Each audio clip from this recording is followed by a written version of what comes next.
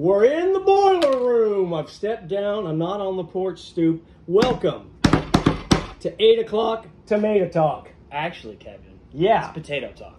We have a sign and everything.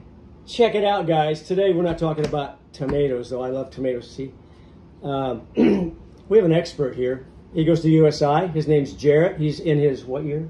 I'm in my second year. He's in his second year, so he's starting to learn. No, he brought me stacks of guys. I'm going to pour over this. This I'm not going to spoil this because he's going to talk a little tiny bit about about potatoes. And so today is eight o'clock potato talk. We're actually going to talk briefly. I'm going to give a few fun facts. I'm going to turn it over to Jarrett, and then guess what? We're going to head out to the garden, and we're going to actually pick Hopefully. hopefully some potatoes. And they looked a little spindly, but I have hopes by the size of their stalks that they're really going to be kicking, kicking this year. First of all, a couple fun facts from the news desk. Did you guys? Did you guys know potatoes were the first vegetable to be grown in space? Did you guys know, fact number two, the movie Martian was about Matt Damon growing potatoes in space? Funnily enough, actually, they could not grow on Mars simply because there's not enough organic matter. Everything else works out. The per- the percolates in the soil doesn't matter. None of that matters. Take not. take the soil, you bring it here, you put some organic matter in it, you could grow them completely fine.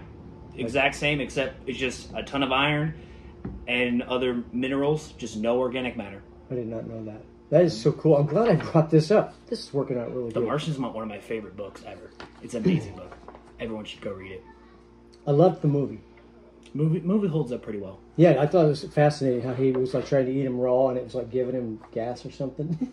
I don't know. Anyway, he could probably tell us the science behind that. Why how, the, the change that occurs when you put heat to a tater.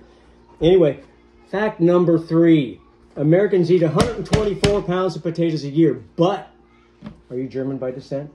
Yes, What's your last name? beam it. That'll work. Um, Americans eat 124 pounds of potatoes a year, but Germans eat twice that much. So 248 pounds of potatoes a year. Th- that's cool. That's why they have such industrious plumbing.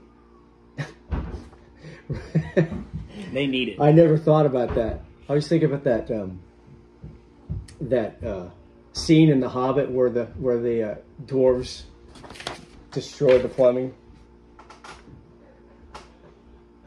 Lord of the Rings, of course. I did we have a spe- Lord of the I Rings did a reference. speech in uh, about potatoes in my speech class, and my intro was the Lord of the Rings.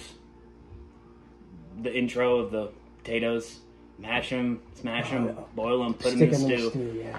shove up. That we'll have to edit. I forgot. Uh, okay, here we go. Fact number four Eric Jenkins from England grew 300. You ready for this? Drum roll. Grew 370 pounds of potatoes from one plant. One, I don't know how he did that. If, if there was some cloning, I mean, okay, technically one plant. I'm going to look into that. Not that I don't believe that Eric did it. I want to do that. All right, turning it over to uh, the expert. Potato. The reason, yeah, potato talk today. So tell us a little bit about potatoes. Okay. Potatoes were originally grown, from what we can tell, by the Incans. The Incans were master botanists way, way, way before, way before the scientific in like Renaissance throughout Europe. Way before that, they were making tons and tons of different potatoes. They would use terraces to grow different types of potatoes in different situations. They would do high on mountains with lots of water, high on mountains with, with no water, in sand with lots of water, in sand with little water. They had potatoes for every single situation you could ever have. Any anything you could think of, they could do it. That is why currently there are 4,000 different types of potatoes, most of them being wild leftover from the Incans. They're that old. We we have maybe a hundred different types that we grow industrially. Very very few compared to 4,000. Right.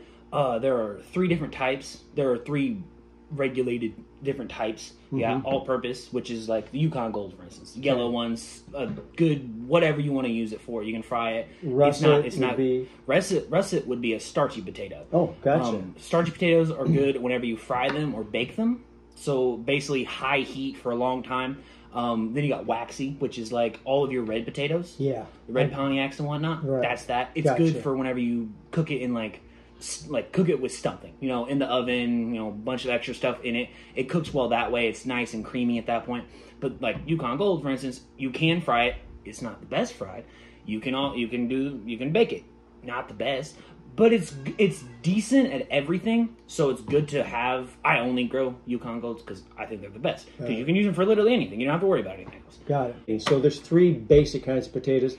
The fact that you're saying that we're down to about 100 is no surprise. We're For- not down to 100. we Well, only grow. I mean, we only in- grow yeah. to 100, so we've limited ourselves. If Because you of, take that picture, actually, that top one right there, you can see all the different crazy types potatoes. Those see are wild the potatoes. ro- I know this is in black and white, people, but, But this still. is a very colorful, crazy picture. There's reds, blacks, at the purples, curved one reds, there. whites, uh, browns, everything. so it's not like you can't take a russet and do what you do with an all-purpose, but there You are can do- best. Potatoes are the best thing ever. You can do literally everything. They have they have tons of starch, which is good for your digestive tract. It's it's actually starch in a way that you can process it properly, not like the um, you know the Jerusalem artichoke is known to give you gas. Yes, yeah. Funnily enough, the Jerusalem artichoke is not related to artichokes or from Jeru- Jerusalem. Kind of, I don't know why it got that name, It but it got like a that name. flower on top, big, uh, like a sunflower or a daisy kind It's- of thing. Yeah. It, it is what it is, but that's known to give you gas. Potatoes, on the other hand, are not. They are actually no. They're actually very, very like many studies have been done that it is a very, very good, easily processed starch for you. So it's good for you. It's got actually, it is the second best vegetable or thing to eat. Period. If you can only eat one thing, it is the second best. Only beaten out, only beaten out by a sweet potato because the vitamin A and the calcium. Nice. Vitamin A and calcium. Yeah, I'm growing sweet potatoes. They're growing slow this year. Excellent. They thing. actually aren't related at all. No, sweet, I know sweet that. potatoes are part of the morning glory family, and potatoes are part of the solanae family, which the same thing Tomatoes. as tomatoes. Yeah. Gotcha. So let me ask you this, or let me say this, uh, and you can throw in something. Um, you can eat sweet potato greens. I found that out. And it's like, ooh, my Do first thought was potato greens, though. That Oh, will yeah. kill you. No, don't They're eat very those. poisonous. Don't eat berries. Don't eat the plants. It's very, very bad for you. Right. It will kill you. Yeah. Uh, what else do we want to talk about? Let's talk about this real briefly before we go Okay. outside. I'm So- fascinated about this. Something that's really cool is the Columbian Exchange. We have agreed we're going to do a whole video on it because of how awesome it is. Mm-hmm. But potatoes were one of the ones that were brought back. The first time that they went to South America, they brought a bunch of different stuff back. Potatoes being one of them. Potatoes spread within a hundred years, which is very, very rare back then. Within a hundred years, it spread all throughout Europe because it was such like an easy plant to grow. Anyone could grow it. You could throw it. You could. It was. It was so easy that you would have a single potato that you would you would leave it out. You could cut it into multiple different pieces as long as there was a chit, which is the eye of the potato. It's, it's called a chit. Just a piece Um, of potato with the eye. You could throw that; it would make a whole new plant, and it would have a bunch more more potatoes. And you would just keep doing that over and over and over again. So out of one potato, you can have like four or five plants. Depends on a lot of different stuff, but you can have a bunch of different plants from it. So it's just a very easily available plant. But, but that's where that's that's when you get into problems. Blights happen. Mm-hmm. The Irish potato famine was from that. Was, was everyone had the same potatoes? A, a blight happened, and then mm-hmm. a And once that one potato went, they all went because there was not a diversity. Well, even some people would pick a would pick would pick a potato that had blight but was not showing signs yet, and then they, They would mix it in it, with yeah. all of the other potatoes. People would buy the seed potatoes. Right. They would have blight, and it would just spread. All it stays in the ground. It's horrible. Mm-hmm. But that was the first. With that, that was the first use of recorded fungicide and like overall just more understanding Mm-hmm. of how that stuff. And so nowadays we have different techniques. I'm glad he touched on that. We do standard farming practices with potatoes in this country, just like any other standard farming practices for wheat and soybeans and corn and stuff like that. But there's also organic ones, which I'm trying to promote. So I'm glad you touched on that. Rotation of crops in your garden is a good thing. Keep the nightshades in one spot, and the next year move them. Let that soil rest. Put in lettuce or something from that family, or or um, uh, or, or the corn family, Beans, or whatever. brassicas, an insanely good Beans to combo brassicas? because the brassicas The have all the nitrogen. fixing, Yeah. and then the brassicas go in. Yeah. They take nitrogen up, and then it just it, you Yeah. can go back and forth very easily. That's what I do So beans, excellent, good idea. because they don't use a ton of nitrogen, but they fix it in the ground through the bacteria that they have a you know symbiotic relationship. Uh, let's get back to taters before we head outside. Tell me about this this year. We didn't talk about the migration yet, did we? We did. Okay, we did. Yeah, the migration up from Central America. All right, guys, we're gonna cut the film. This is good. It's actually pretty good. Yeah, First take and everything. yeah, that's it. That's the way I like it. Uh, but um, we're gonna head outside now. I'm gonna cut the film, and we're gonna get the the the take the camera with us, and we're gonna head out to dig a potato. And fingers crossed, we're gonna get some killer crops. So see you in a little bit. All right, we're going outside now. Let's go, Jarrett. Close that door. Oh, close the door, Kevin. I wasn't raised in a barn. I was raised outside of a barn. It's it's hot out here, by the way, guys. Just a little weather report. I'm guessing what 75% humidity. Oh, yeah, probably. Uh, and and I'm guessing pushing 90. So it's summer, but things are going good out here. Gotta love Indiana. Gotta love Indiana. Okay. All right. So guys, let me flip this around. Here's the taters. You know we've done a little garden tour, so you know these. These are looking pretty good. Which one should we pick? That one right there. Where? On the edge. This guy? Yeah. All right. You want to get a fork, or do you want to just pull? Right there, sticking in the ground. Straight ahead by that green uh, sideways water can, and stick, sticking up in the ground. Oh, It's there, right okay. You were kidding, right? No.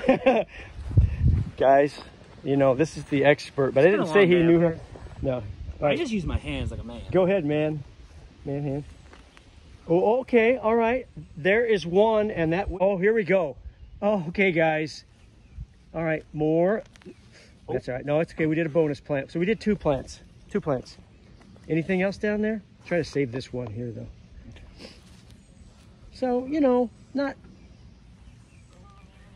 Not super amazing. It was early, you know? It was early. Okay, so they would have gotten bigger, right? You're saying? Absolutely. No, it would have gotten way more. You could see all the little tiny ones on there. Oh, gotcha. Yeah. it was still growing. so And then you got this clay. That, that's that's hindering it too. I know, I know, and I put this. up. I put that right on top of the Hugo hugelkultur because I was needing field dirt. So not bad. I mean, well, not great actually. we got four potatoes from two plants. It's way too early to do them. I I have potatoes. I'm not I'm not picking them for like a month probably. I, I got I got a long time. So we're we're really looking at these being able to Well, actually. but look how big these got. That's a pretty big potato. They're, Yeah. they're supposed to be about this size whenever you grow. Yeah, it's that's a pretty decent size. It's way too early to actually have gotten like a, a ton, but Right. So we would have gotten more. also In don't numbers, don't too. don't play on clay like Kevin. He doesn't. I did what? Yeah, I'm, I'm improving. Each year's an improvement. You should have seen last year. So okay, cool. So we've done it. That's pretty much going to conclude. You can see we got squash growing in the middle there. Our potato thing, guys. I hope you got a lot out of that. Uh, Thanks, Jarrett, for joining us. Absolutely, it's fun. It was fun. He's he's good. We've talked about this at work. We both work at Home Depot. Uh, we've talked about it for weeks, and I'm so glad we got to do this. It It's actually turned out. at this point. It's been months. It's yeah, been months. We've been talking about Yeah. it. Yeah, you were. Because we were talking about it when I was still in like school. like Oh, during the yeah, school year. Yeah, and it's- it's- it's been that long. mid July, yeah, and so early July, yeah. Cool. All right, Kevin from eight o'clock to eight o'clock, eight o'clock tomato talk, eight o'clock Jarrett, o'clock. Jarrett from eight o'clock potato, potato talk. talk. That's right. No wonder I couldn't pronounce it. Eight o'clock potato talk. Thank you guys. Please like and subscribe. Thanks for watching. Talk to you next time. Bye bye. Peace. A little addition, guys. We found a bonus one. This is the biggest of the original four he picked. Look at that. Yeah, Big potato. big.